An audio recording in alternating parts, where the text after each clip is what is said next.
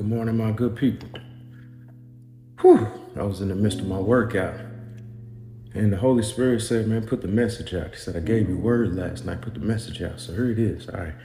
Okay, so y'all done heard me speak on it before. Uh, Second Thessalonians chapter 2, verse 11. It said, for this reason, God will send a strong delusion so that those who believe the lie shall be damned.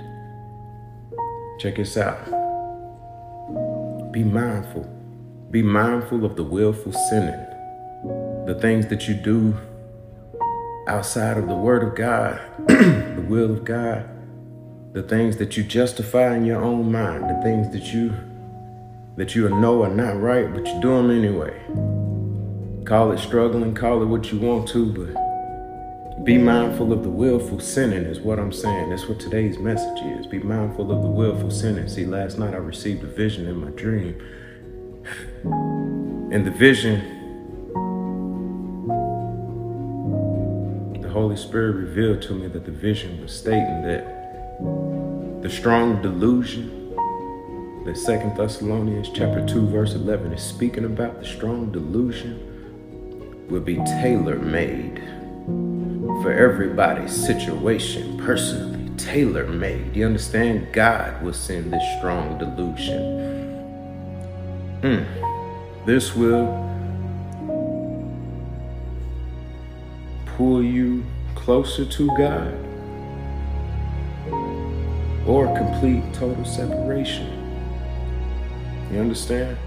You see, here lately, the Spirit's been letting me know about this conditioning period that we've been going through and that is over now.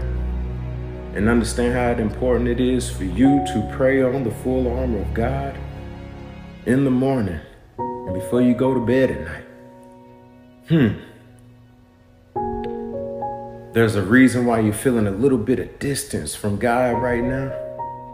Remember I said he's giving the relationship room to grow. He's stepping, he's taking a step, giving a little space, allowing room so your faith can stretch and grow and reach him.